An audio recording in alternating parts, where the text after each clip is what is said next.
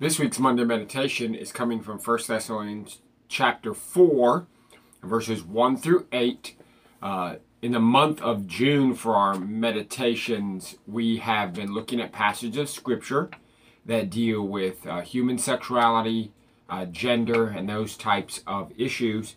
And in 1 Thessalonians 4, the Apostle Paul uh, is very clear as regards what our responsibility before the Lord is regarding these areas. And so let this be an encouragement and a challenge to you as you begin your week.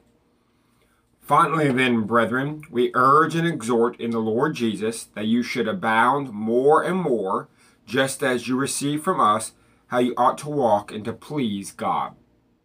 For you know what commandments we gave you through the Lord Jesus.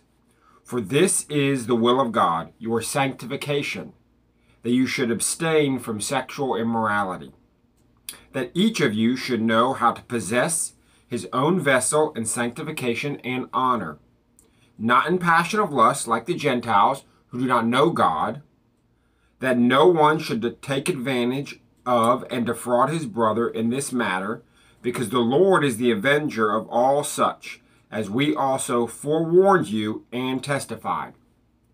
For God did not call us to uncleanliness, but in holiness.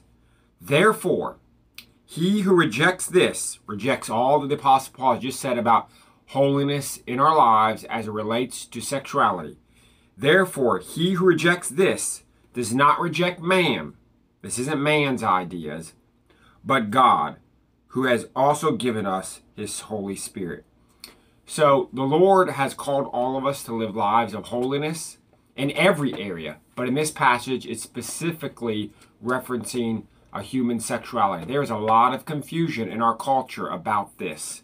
And we, as Christ followers, if you are a Christ follower, you do not have the freedom to live as you would like in regards to sexuality. There are explicit and very clear uh, patterns for us to follow.